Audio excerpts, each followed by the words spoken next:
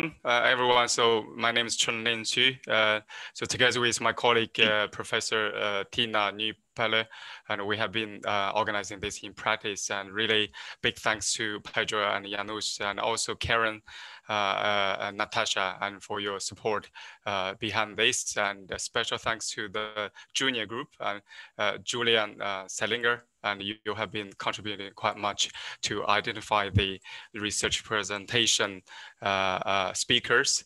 Um, so some practical information before I introduce the first speaker. Uh, you need to be really careful with your uh, microphone. Keep it in, uh, mute. And you can put questions through the chat. Um, and now we can start with our first uh, lecture, plenary lecture uh, given by um, Tatiana, Professor Tatiana Budtova. Uh, she is an expert in polymer chemical physics, in particular uh, in polymer solutions, gels and aerogels with a focus on biomass-based polymers and also in polymer composites with natural fibers. Uh, she defended her PhD in the Institute for Macromolecule Compounds of Russian Academic Sciences and got ha uh, habilitation in France. Tatiana holds research director position in the Center for Materials Forming of Mines, Paris Tech, France, and she's a leader of a bio-based polymers composites group. She is one of the editors of Carbohydrate Polymers Journal, and in 2020, she was awarded as a uh, silver medal by CNRS for the outstanding research related to bio aerogels. So uh, without no ado, I give the microphone to Professor uh, uh, Tatiana Budtova. Uh, please go ahead and kick off this uh, webinar. Uh, Thank you very much. hello, everybody. you are muted, Tatiana. Sorry. Hello, everybody. Um, good afternoon, good evening, good morning, wherever you are. I'm very happy and I'm honored to, to, to start this webinar. I would like to thank my colleagues who, who have invited me. Um, and uh, I will share with you a story uh, about uh, what is called bioaerogels. So I'm starting my slides. So bioaerogels, new materials that were born in the 21st century. Um, I would like to say that I'm, I'm, I'm very happy that I was present at, at the birth of these materials. I don't know, I, am either I'm a, a mother or, or, a doctor who, who, who helped the, the, the birth of these, uh, of these materials. So I will tell you, I will you, tell you the story. These materials are still in their childhood. So let's have a look how, how it happened and uh, what is the character of, of, this, uh, of this baby. I will first, uh, with one slide, uh, introduce my, my research center where, where I'm working, because for those who don't know, this Mines ParisTech may, may sound a bit, um, a bit uh, strange or not, not uh, easy to understand. So it is an engineering school uh, School of Mines of Paris. Uh, it is one of the oldest and presti most prestigious universities, engineering schools in, France, which was founded a long time ago, before the French Revolution. So there are 18 research centers in, uh, in Mines ParisTech. The headquarters are in Paris, but there are five research centers that are in Sophia Antipolis. And the research center where I'm working, it is there in the southern part of France. So this being said, let's move to, to aerogels. I'm dividing my, uh, my talk into, two, into four parts. I will first introduce aerogels, what, what they are and what are the main applications. Then we will see how the bioaerogels were born, some examples of bioaerogels properties and potential applications, and then I will speak about problems and, and prospects because nothing is perfect in life. And even bioaerogels, they have their, their, their problems. Um, so aerogels, uh, let's first look at the definition. What are aerogels? Aerogels are dry networks. They are not a gel where solvent is removed from the gel. They have low density, below 0.2 uh, gram per cubic centimeters. And what is very important is that they have very small pore size. They are below one micron or even most uh, often they are below uh, 100 nanometers. And this is what is making very high specific surface area of these aerogels. So specific surface area is the total surface uh, area of all the, all the, all the pores inside these aerogels. And it can go up to more than 100 or several hundred square meters per gram. Uh, what is also important in terms of terminology uh, is, is the characteristics of the pores. So you should know that, that uh, what is called micropores is uh, the pores with the diameter below two nanometers. Mesopores are pores with diameter from two to 50 nanometers, and all the rest, the largest pores, called macropores, they have the diameter higher than 50 nanometers. So there is some, I would say, some confusions in literature. Sometimes people are calling micropores the pores that have the, the size of microns. This is not correct. Continuing with definitions, uh, IUPAC uh, Gold Book uh, de defines aerogel as following. It is a gel comprised of micropores. So micropores, you see here, it is below two nanometers. A micropore solid in which the dispersed phase is a gas. Uh, so with examples such as microporous silica, microporous glass, and zeolites. This is causing a problem because uh, it is excluding a lot of aerogels that scientists developed since long time. For example, the classical uh, aerogel, which is based on silica, on SiO2, is not fitting this terminology. So I would say that IUPAC should change the terminology for aerogels to, to be really well represented. And this is what you see the images here, examples of silica aerogels or polysaccharide-based aerogels in different shapes and forms, and the size of pores. Pay attention on the, um, uh, on the scale of scanning electron microscopy. Uh, so this is 100 nanometers. So you see that the size of the pores is below or, or around uh, this value. How aerogels are made? So you start with a gel uh, and there is a drying procedure which removes the solvent. The problem is that during drying, there is a capillary pressure that is developed and capillary pressure depends on the surface tension between the liquid and the evaporating gas, uh, the angle of contact between the liquid and the matter of the network and the pore radius.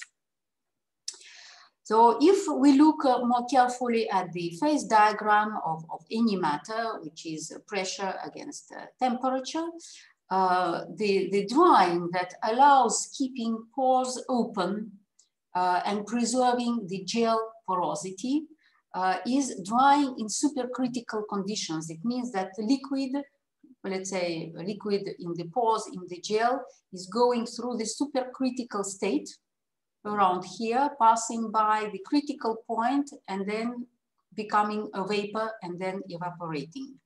So just as a reminder, there can be an evaporative drying from liquid to vapor directly, or can be freeze drying from liquid, which is sublimated when it is in the solid state and then, uh, and then sublimated. So in supercritical conditions, the diffusivity of this, of the, the matter in this state is comparable to, glass, to, to gases. Uh, the density is between the gas and the liquid. And uh, in supercritical state, the matter has very high solvation power. And there is no meniscus uh, which is formed in, in this state because there is no liquid and no gas. And this is what is making capillary pressure theoretically zero. And this is what is attractive uh, for making aerogels. So in terms of the preservation of the structure, we can say uh, that uh, drying in supercritical conditions makes making aerogels is preserving the, the, structure of the gel. When you are making freeze drying or lyophilization, usually it is water that is frozen in the pores of your gel. And then, okay, we can call it cryogel, which can be discussed, but for simplicity, we call it cryogel. Then the structure is not really well preserved because it is then the replica, the structure is the replica of ice crystals that, that are growing inside your, your, your gel. And uh, with ambient pressure or vacuum drying, let's call these materials xerogels, practically the structure is not preserved because there is a, all the co collapse of, of the gel due to the development of, of the uh, capillary pressure. So the structure and the formation of the network is determining the material's properties. So this is an example uh, of a, okay, here it is a case of a starch cryogel, which was obtained with freeze drying. So have a look at the uh, scale uh, in this scanning electron microscope. It is 20 microns. So the size of the pores are really the replicas of ice crystals that were growing inside and that was sublimated.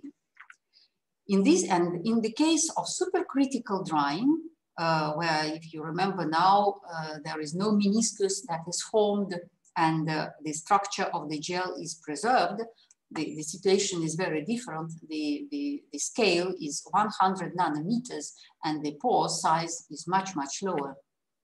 So in the case of freeze drying, the specific surface area will be very low and in the case of supercritical drying, the uh, specific surface area will be high. So as, just as a reminder, not all porous materials are aerogels. For example, there are foams like polyurethane foam uh, or, or, other types of foams or sponges. They are, they are not aerogels.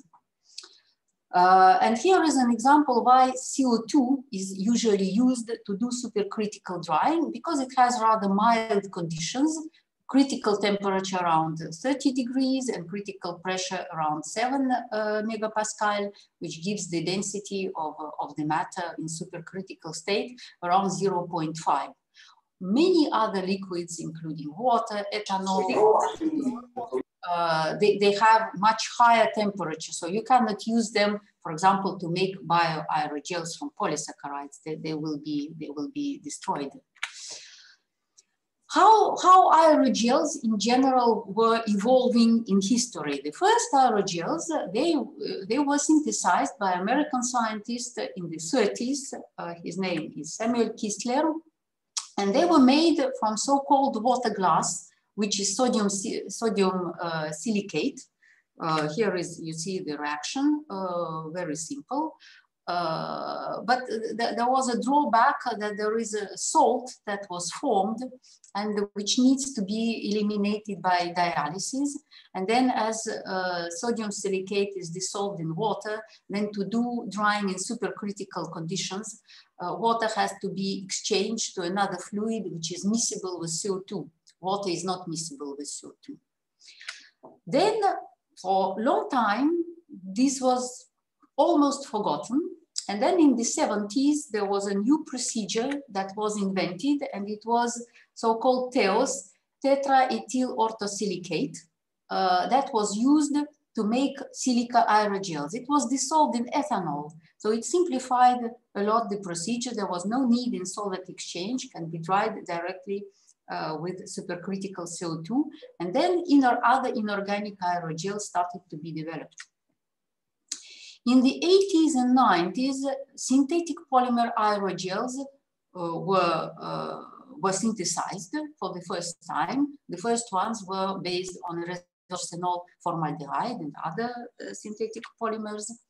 And then at the beginning of the 21st century, it was found how to make uh, silica aerogels avoiding supercritical drying. And this was really uh, a significant uh, breakthrough because uh, uh, even if supercritical drying is, is an industrial process and, and used in industry, for example, for extractions of spices or cleaning or uh, any other procedure, avoiding uh, high pressure technology is, is making processing much easier. So the, the classical aerogels, silica aerogels or, or, synthetic polymer aerogels are synthesized in the following way. You, you, start with the solution or colloidal suspension of the precursor, whatever it is, small molecules. There is a chemical reaction uh, that, that, that um, uh, sort of a polymerization that increases the size from the small molecules to the sol, then sol gel transition induced by catalysis or whatever, any catalyzer. And then the gel is formed and then uh, the, the, the, drying is performed to remove the solvent, usually with supercritical CO2.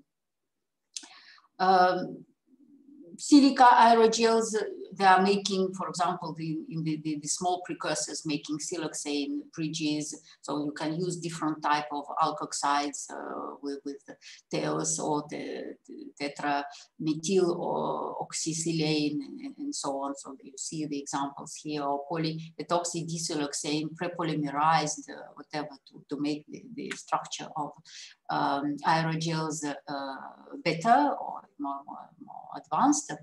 Metal oxide based uh, aerogels sim have similar principle of synthesis to silica based aerogels or synthetic polymer uh, aerogels with classical examples, the resorcinol formaldehyde aerogel or, or melamine formaldehyde uh, aerogels they're all starting with, uh, with small molecules with polycondensation reaction, growing, making a gel, and then drying in supercritical uh, state. So in, in all cases, the precursor is, is, is a monomer, small uh, molecules. So these are all these aerogels, they have low density, very small pore size, high specific surface area can be up to several thousand square meter per gram. And uh, uh, the applications of, of these classical aerogels, one of the uh, most, uh, okay, for the time being, attractive applications, they are thermal in insulation. It is thermal insulation and thermal super insulation. Uh, also carbons, when you pyrolyze for example, uh, polymer ions in batteries and fuel cell membranes as catalysts and catalyst supports for adsorption, absorption, or separation. And here is the scheme of the current applications. Okay, they're not really applications at the pilot scale, applications of, uh, of aerogels. So they are, they are mainly uh, in oil and gas sector uh, and the other industrial sectors and mainly in uh, thermal insulation uh, area. So the, there, are, there are two uh, American companies that are leaders in this field. They are making so-called blankets of silica aerogels or particles of silica aerogels. A Chinese company that is making boards of silica aerogels and French company also making particles of aerogels. And there was um, an interesting application of uh, silica aerogels that was sent in space uh, to collect uh, the dust uh, of the stars, star dust collector. How it works, uh, thermal insulation of aerogels and thermal super insulation. What it is super insulation? So this is important because then we will see how bioaerogels can, can be used in this case or cannot be used in this case. So for porous materials, uh, the, in the first approximation, we can say that thermal conductivity of a porous material is uh, additive sum of the conduction of the solid, of the skeleton, of the gas, and of the radiation. So the, the conductivity of the solid skeleton, uh, if we want to decrease uh, thermal uh, conductivity, we need a material with as low density as possible. If we want to decrease total thermal conductivity, how to decrease the conduction of the gas phase? For example, if there is air in, in the pores of our porous material, and it is possible to have the conductivity of the gas in the pores, which is lower than the conductivity of, let's say, of the surrounding air. This is called Knudsen effect. And this happens when the size of the pore of our material is lower than the mean free path of, let's say, air molecule. And the mean free path of air molecule is around 70 nanometers. So if you make a very lightweight material with pore size below 70 nanometers, and radiation is usually small uh, in optically thick uh, materials, you may have a chance to have very low thermal conductivity. So thermal conductivity as a function of density is, is represented schematically as a U-shaped curve. And everybody is looking for, for the minimum at this shape uh, point, which is a compromise become between having low density and, uh, and low pore sizes. And this is an example of silica aerogels. So have a look again at uh, the, the scale uh, of this scanning electron microscope, 100 nanometers. So the pores are very, very small. They are really, that's mesoporous material with low density. And this makes the thermal conductivity much lower, twice lower than the conductivity of the air. It makes, it, it looks a bit like, like, like, like a mysterious material that, that you, the ambient pressure in ambient condition, you, you have a solid, a porous solid with the conductivity which is lower than the conductivity of the surrounding air. But, but this is possible. So why to bother about so low thermal conductivity? Uh, because if, you want to have a, a performant insulation of, of your walls, for example, and you cannot put the insulation outside, you have to put insulation uh, inside and probably you don't want to reduce a lot the, the living space of your, of your apartment. So for example, for conventional insulating, reaching a certain value, which is called the performance of the insulating material, uh, with the thermal conductivity around 0.035 uh, watt per meter per Kelvin, the thickness to reach the, the, this value, uh, let's say four, will be 14 centimeters. But if you use silica aerogels, you divide this thickness by twice. There are also vacuum insulation panels, okay, with vacuum inside, which makes the matter, the, the overall construction with very low conductivity. But vacuum insulation panels have the problem that, that if there is a small crack inside, you lose and then you lose the, the, all the performance in, in the conductivity. So with the history of, of classical aerogels, silica aerogels and synthetic polymer aerogels, then the breakthrough in the ambient pressure drying of silica aerogels, what next to do? To improve the mechanical properties, Okay, there are problems with silica aerogels, uh, dusting, which means releasing small particles, aging. Uh, so then there was uh, there is a need to to find a way to to dry synthetic polymer aerogels in ambient pressure to decrease the price and so on. So what what what is the next? What is the next breakthrough? And the next breakthrough is to make bioaerogels. And this was done at the beginning of the 21st century. How it happened? You are now working all or studying uh, polysaccharides. You know that, that cellulose, starch, marine polysaccharides, they are abundant and renewable. They are human friendly, which means that we are eating, we are using them every day in pharma, in textiles, in food, in feed, in cosmetics, and so on. What, what was the situation with uh, uh, bioaerogels? At that time, they were not called bioaerogels. Around the beginning of the 21st century, there were two, three forgotten articles, and they were not called bioaerogels. Few researchers dried um, polysaccharide-based aerogels with supercritical drying, but this did not go further. Scientifically, this topic is very attractive, uh, especially in the view of making new biomaterials.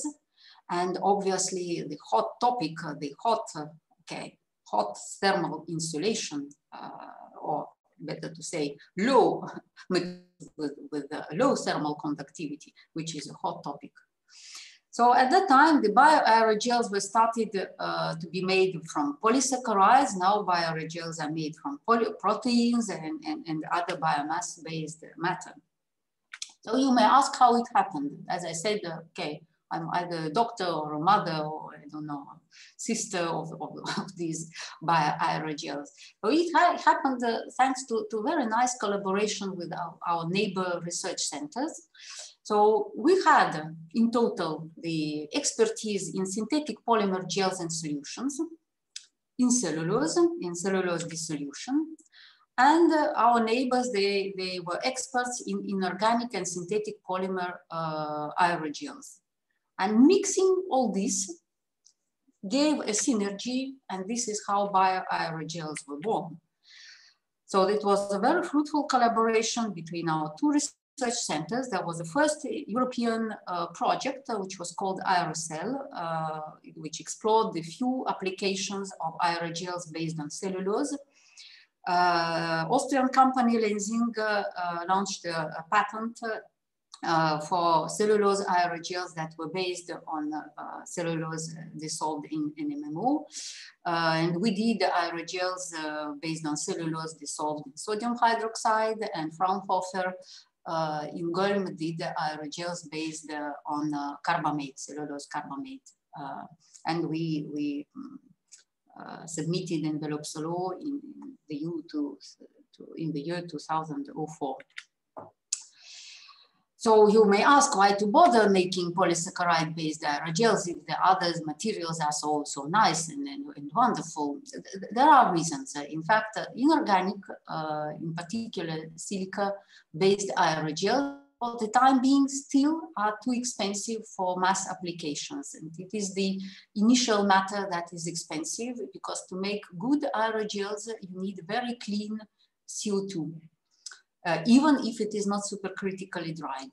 And you, you need to improve the mechanical properties of uh, uh, silica uh, aerogels uh, because they, they are very, very fragile. And hydrophobization is needed to prevent their aging.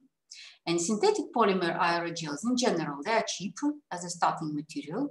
They can compete with silica aerogels properties they have much better mechanical properties based on polymers, but the synthesis, as you can imagine, is also no formaldehyde, polyurethane aerogels is not always uh, very nice, and still it needs a supercritical drying.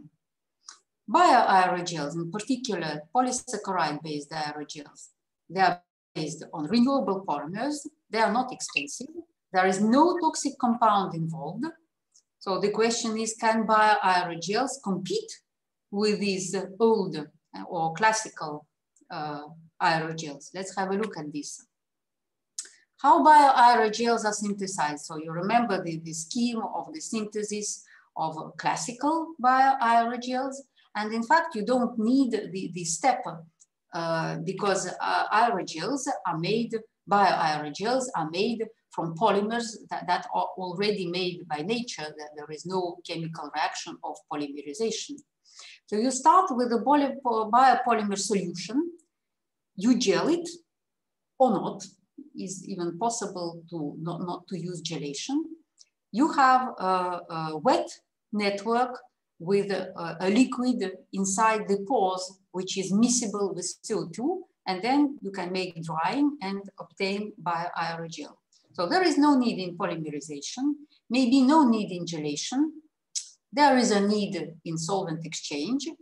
And what has to be kept in mind that aerogel precursor, this wet network is not in a way a gel anymore because the, sol the, the liquid which is inside the pores of this net network is, is not a solvent anymore. So it is a coagulated polymer. So we need to know well the properties of the starting polymer because this will, this will uh, define the, the, properties and gelation or not gelation of the whole, uh, the whole processing uh, story of making bioaerogels. Now I would like to, that's mainly message to, to the students if they are, they are listening. So when somebody is saying, I'm working on cellulose aerogels, obviously there are exceptions. I'm working on cellulose aerogels. So please remember what I'm saying now, my scheme, and ask, are you making cellulose aerogel via dissolution? If yes, in what solvent? In what non-solvent? And are you drying with supercritical CO2? Because you may gel cellulose solution or you may not gel cellulose solution. That will make different morphologies of the network and different morphologies of your bioaerogel. And this is an example of the importance, again, of the supercritical drying. This is the, the, the bioaerogel with a very fine network. And this is cellulose, which was freeze dried. And you see the size of the pores of several, is of several microns. Or maybe for cellulose or chitin, you are starting with nanocellulose or nanochitin. That's another story. So this is not a solution, it is a suspension. In this case, it is, for example, uh, if it is cellulose nanofibers or cellulose nanocrystals, or maybe bacterial cellulose, they are dispersed in water, then water has to be replaced by a fluid which is miscible with CO2, then you will do supercritical drying and obtain bioaerogel. And this is again an example of importance of, of the drying step. Uh, aerogel based on nanocellulose, have a look at the scale, 0.5 microns, a very tiny pores, and the, the uh, nanofibrillated uh, cryogel made by freeze drying. You see the scale is 50 microns and the pores are several tens or of several microns, which makes a huge difference in, in the properties. To be fully honest with you, I would say that it is possible to make aerogels with freeze drying, which means using freeze drying and obtaining high specific surface area and low uh, size small pores. But there, there, are, there are very special cases that, that has to be has to be considered, has to be used. Few examples of bioaerogel properties, how to do the shaping, how to put them in different shapes. In fact, that, that's easy. For gelling solutions like alginate or pectin or carrageenan, you, you, you gel your solution in, in the shape you want, and then aerogel will keep this, the shape of, of the gel. It is possible to also make beads. So these are the example of cellulose aerogel, pectin aerogel, and starch aerogel. It is possible also to make beads, aerogel beads. Uh, in fact, uh, as soon as you manage to make uh, microgel or, or, gel particle beads, then you, you, apply the procedure of solvent exchange and drying, and, and then you, you get uh, by aerogel beads. So you can use either lab scale method, simply dropping your solution either or in gelling bath or in coagulating bath, or you can use uh, procedures that can, can uh, that are used to, for upscaling, like jet cutting, for example, or atomization or prilling, and then you obtain uh, bioaerogels of different sizes, a few millimeters, sub-millimeter size, but you see that the, the, the structure, the, the morphology and specific surface area is still, is still very high. The, the point is that when you are making gel beads, you need to avoid evaporative drying. So if you manage to do it, then you can, let's say, rather easily obtain bioaerogel particles. You can also use um, emulsion approach uh, and, and obtain bioaerogels of, of very small size, of the size of uh, from few microns to few tens of microns. This is an example of cellulose uh, aerogel particles, and this is an example of alginate aerogel particles. So you see few, few tens, around 10, uh, 10 uh, uh microns, uh, but uh, the, the morphology inside is the same and as for large samples of bioaerogels with high specific surface area.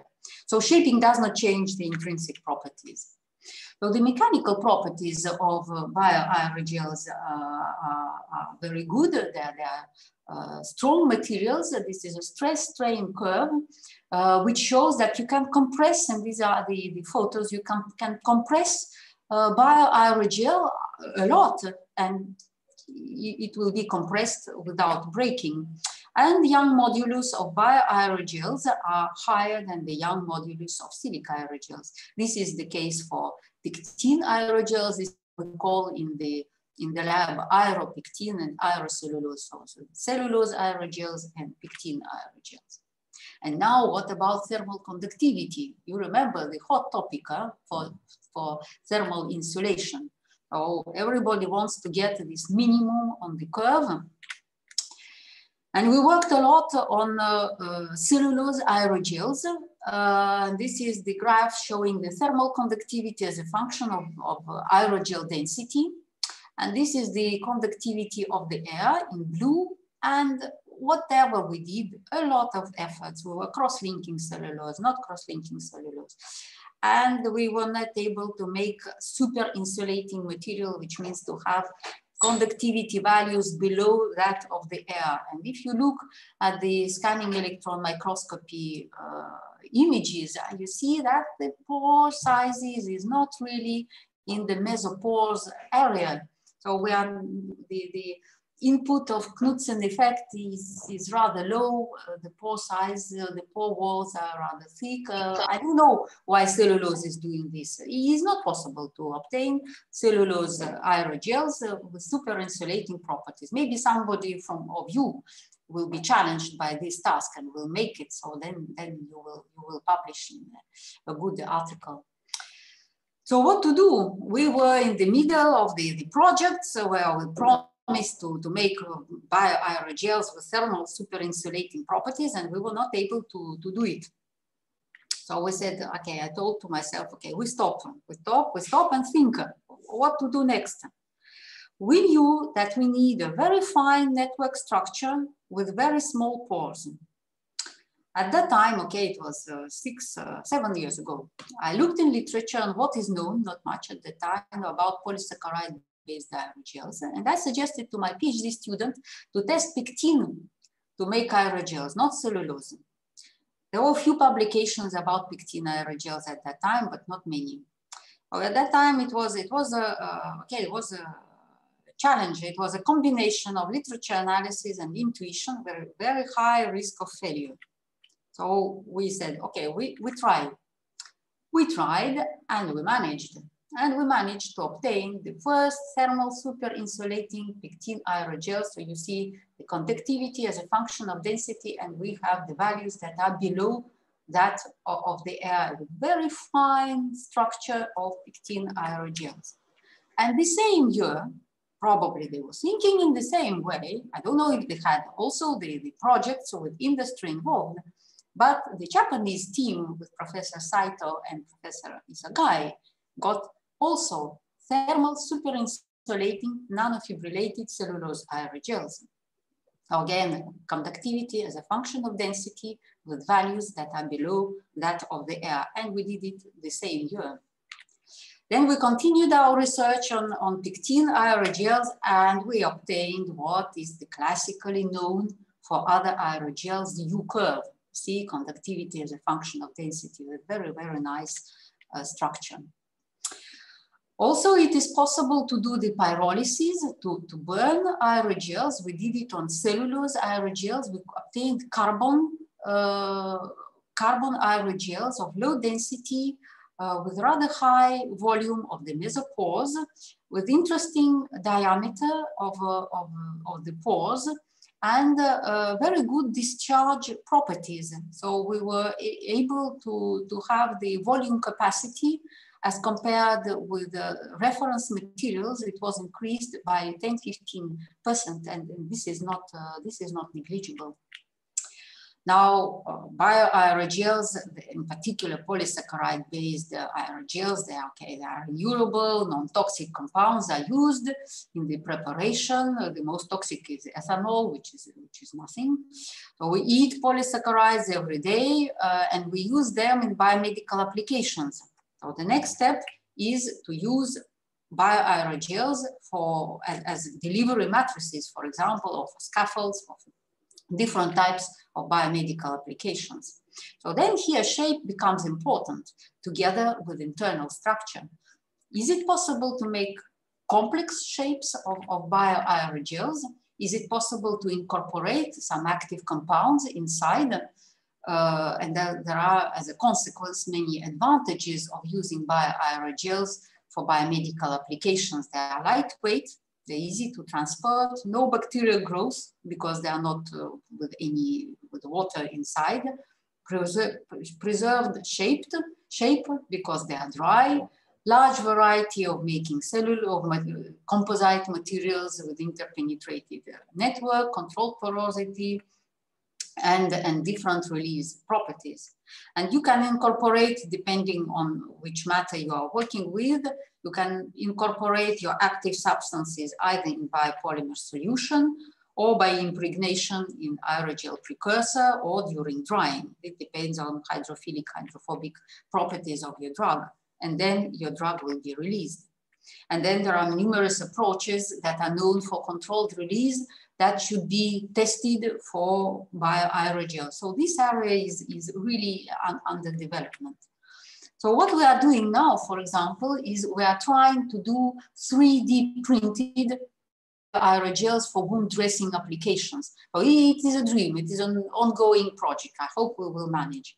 So for example, we dissolve chitosan, we make printed chitosan aerogel we incorporate active substances, and then we, uh, we hope to have the aerogel that will fit the wound and we, we are targeting the, the chronic wounds that are difficult to, to cure, like diabetic foot wounds or burns or ulcers and, and so on. And then if the, this aerogel contains some active uh, compounds that, are, that can cure the wound, then these compounds will be released in time. And we have some promising results. So this is, for example, here a printed chitosan gel. And this is the, the it, it, it was dried with supercritical CO2. And this is the printed chitosan aerogel still there is a lot, a lot to discover and to adapt for biomedical applications. I'm finishing my, my, my talk with, with problems and, and prospects. So bioaerogels, they are in their infancy stage. stage uh, they, are, they, are, about 15 years old. 15 is not infancy, but uh, okay, for bioaerogels, they are really, really very young. Yeah, they are not yet teenagers. And most of them are made by, by trials and errors. And the majority of publications, they are, they are testing formulations, what will happen if we do this and that. So modeling is, is very strongly missing. And there are a lot of questions to answer, uh, fundamental and, and uh, applied questions. So how network structure is built, there are two mechanisms, gelation or phase separation. What are correlations between the type of the biopolymer, structure formation, and aerogel properties? As I mentioned, modeling is non-existent. Absolutely nothing is known. How, how to make thermal superinsulating bioaerogels, there, there is nothing, or so on. How to avoid supercritical drying, keeping the same properties. This is, this is a big question, and that, that's very important. And, and it's a fundamental question and because you know if you dry polysaccharide gel in ambient conditions uh, you will not uh, you will not obtain a porous material. Some applications they need hydrophobicity. So how to avoid harsh chemistry uh, to to to, to make hydrophobic uh, bioaerogels, how to control aging, uh, various applications, new applications in life science, pharma, cosmetics, medicine, Characterization of bioaerogels has a lot of problems. For example, okay, I don't have time, but there is no method to measure pore size distribution, which is very important. So bioaerogels still have several weaknesses. Uh, there are very different applications that are practically not overlapping. If you speak with people who are working in thermal insulation area, and, and, and in, in polysaccharides, they are speaking different languages, even if using English at the same time. They don't understand each other.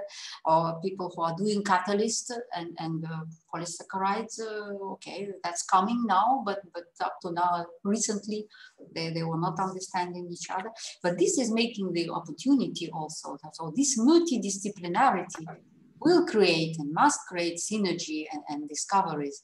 And this sense, I'm always citing Winston Churchill, who said that a pessimist sees the difficulty in every opportunity, and optimist say, sees the opportunity in every difficulty. So I wish you to see opportunity in every difficulty. And with this, I would like to finish my talk and thank everybody who, who, who was working with me, the, the, the students and, and colleagues and, and funding agencies. And thank you for your attention. And I will be happy to answer your questions.